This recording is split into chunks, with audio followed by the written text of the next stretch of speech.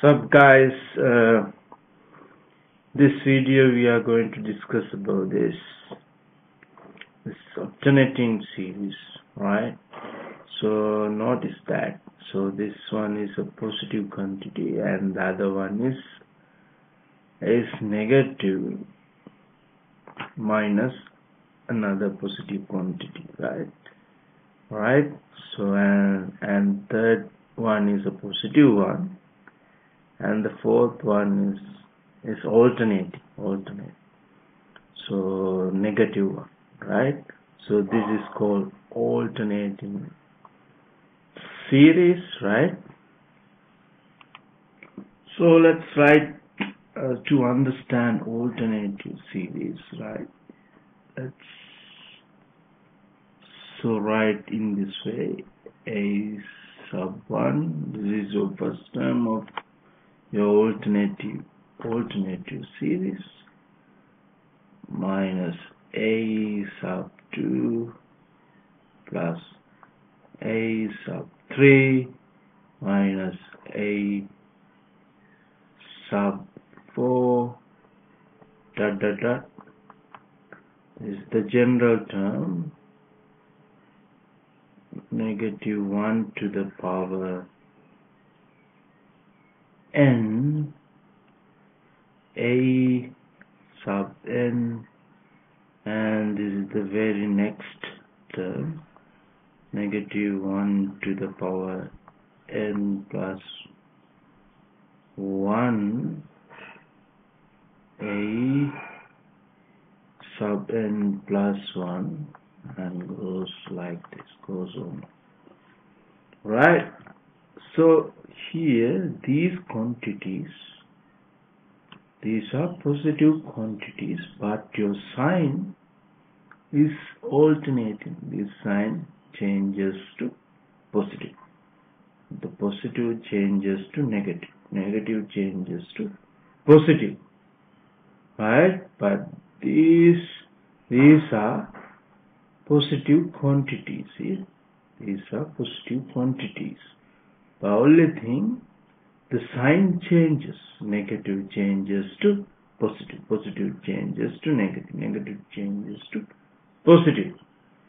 So if you want to check whether this alternating uh, series convergent is convergent or divergent, so you have to check this sequence. Here you have a sequence. Here look at the sequence. A sub n is a, is the sequence of this alternate alternating series right?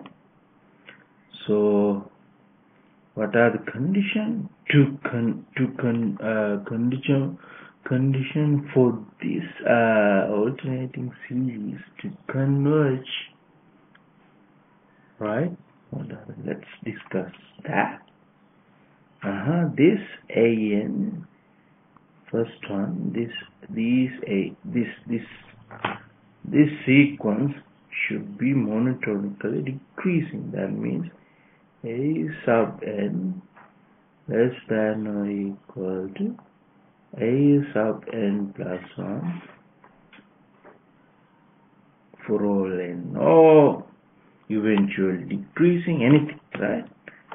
So it, this sequence should be decreasing. And the other one and the other one if you take the limit of that sequence if you consider the limit of that sequence the limit should be should be 0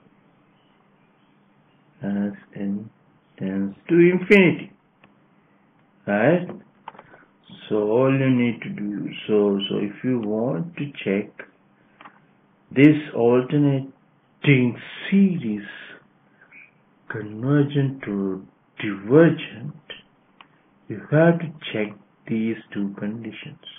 Whether this sequence is decreasing and this sequence should be decreasing decreasing to zero right? All right let's let's check that one. Uh-huh. So this is the first term and second term both are the same. But the third term uh-huh here this is a sub n. A sub 1 a sub 2 a sub 3 a sub 4 like that. Sub 5 so I I ignore these signs right? I just consider this quantity right? Positive quantity uh first to look at this a sub 1 is 1 over square root of 1 this one which is same with a sub 2 mm -hmm. equals but this one uh, this one is bigger than this number. Uh, right. And this one is same with this less than less than or equal to this like that. Uh -huh, that means generally uh, the sequence is decreasing monotonically decreasing. The sequence monotonically decreasing right and what about the limit of that sequence? The limit also